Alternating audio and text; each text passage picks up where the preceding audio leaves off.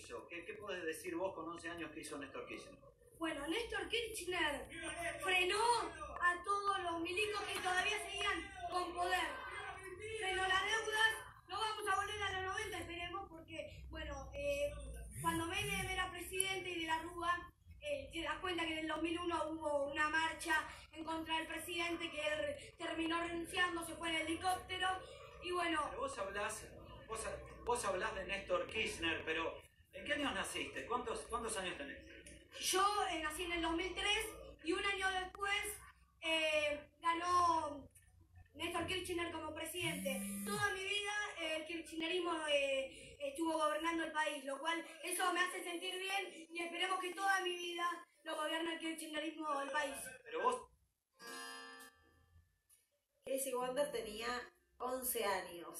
¿Y hoy qué edad tiene? Bienvenido. Hola, ¿cómo te va? Muchas gracias por la invitación. Ahora tengo 17. La verdad es que los que nacimos en 2003 crecimos con un gobierno peronista y eso nos ayudó a, a vivir en un momento en donde se podía tener un negocio, en donde la economía estaba muy bien y en donde nos educábamos con la panza llena. Porque no puede haber educación si los alumnos no tienen la panza llena.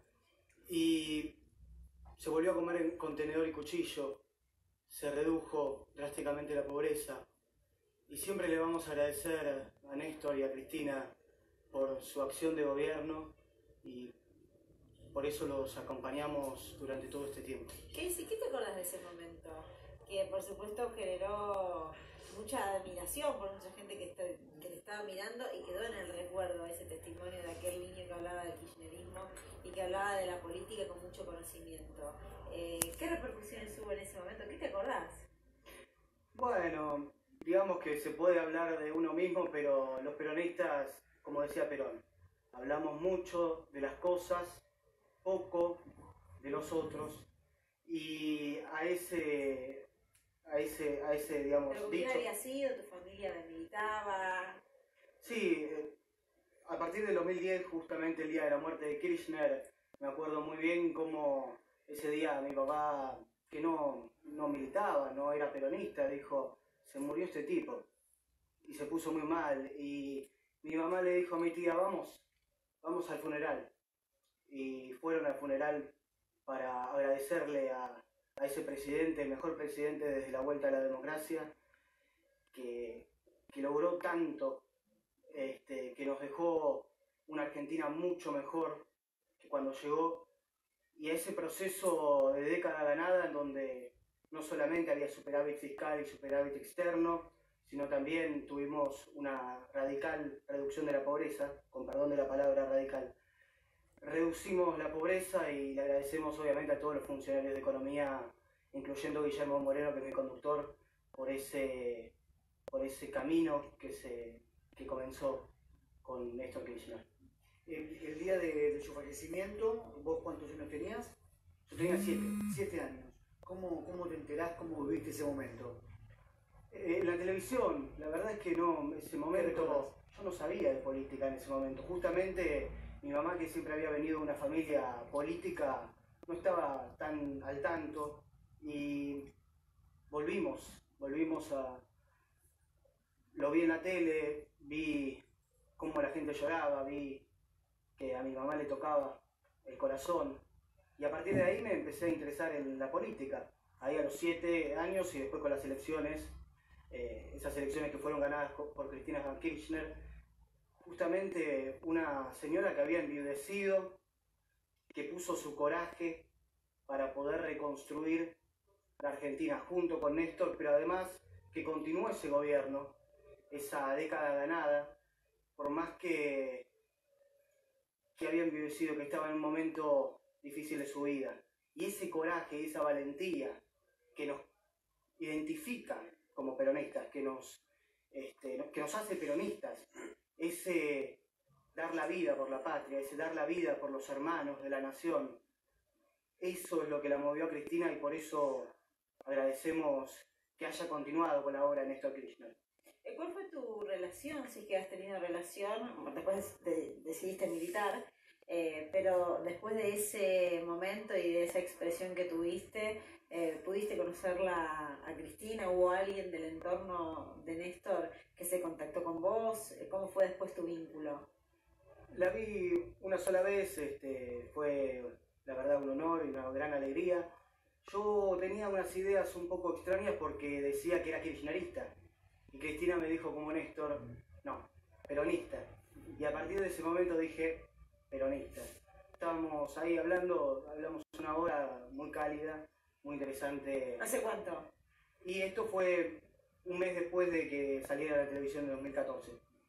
Así que tuvimos una muy cálida charla, también estaba Parrilli, estaba Guado Pedro, y hablamos eh, sobre el peronismo, sobre la vida. Este, y después, bueno, mi mamá la vio otra vez, que la esperó abajo de, la casa, del apartamento, y nunca más, pero que bueno, los militantes, aunque no nos veamos, siempre estamos a disposición para la causa nacional justicialista. Casey, yo pensaba, ¿no? La política eh, puesta al servicio de la gente. Creo que ese es el denominador común de la gestión de, de Néstor Kirchner y de Cristina Kirchner. Pero, ¿qué mirada tenés sobre los detractores que tuvo el expresidente? Bueno, recordemos el conflicto con el campo, una oposición radicalizada. ¿Cuál es tu mirada frente a la, a la oposición que tuvo en su momento Néstor Kirchner y también los detractores de la actual vicepresidenta? Bueno, justamente el conflicto del campo fue lo que hizo que el actual presidente Alberto Fernández fuera del gobierno, ¿no? Él cometió ciertos errores que nosotros quizás no compartimos, por ejemplo, cuando reunió a la mesa de enlace eh, a los productores y también eh, había dicho que supuestamente ya había arreglado todo y en realidad no lo había arreglado, junto con Lustó. Entonces, efectivamente, tuvo varios detractores el gobierno peronista, siempre hay más desleales, y por eso en 2013 jefe de campaña de Massa terminó siendo Alberto Fernández. Por eso en 2015 perdimos las elecciones porque no las ganamos en primera vuelta, porque Alberto Fernández había creado una lista aparte junto con Massa encabezándola.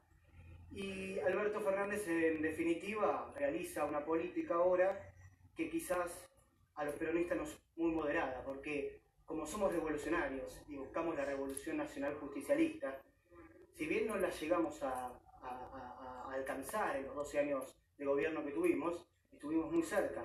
Dejamos un desempleo del 6%, quizás no el de- del 2,7% que dejó este, Isabel en el 76, pero sí un 6%, mucho menor que cuando llegamos.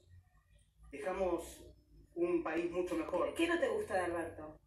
Alberto Fernández, yo no comparto, por ejemplo, que tenga miedo en realizar algunas cosas. Por ejemplo, Cristina Kirchner ayer escribió en, su, en una nota, ¿no? Un, informe muy interesante, donde dice nacionalizar las AFJP, las retenciones, no nos iban a salir baratas. Claro, Kirchner subió las retenciones, Alberto Fernández las baja. Kirchner mantuvo superávit fiscal y dijo en su discurso el 25 de mayo de 2003 que no había que emitir ni tampoco había que tomar empréstito. Este presidente emite sin tener superávit fiscal, sin tener superávit externo y además ahora se habla sobre un acuerdo de que nos lleguen dólares. Yo sé que está la pandemia, es un momento muy difícil en el mundo, nos agarró todos desprevenidos, pero hay un gran problema. Hoy no tenemos ni salud ni economía.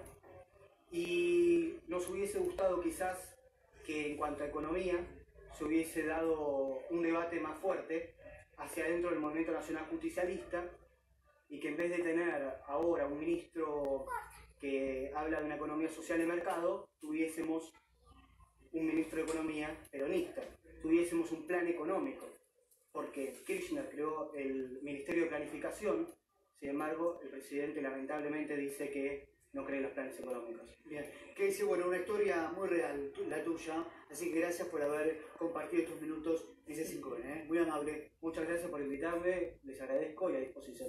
Gracias.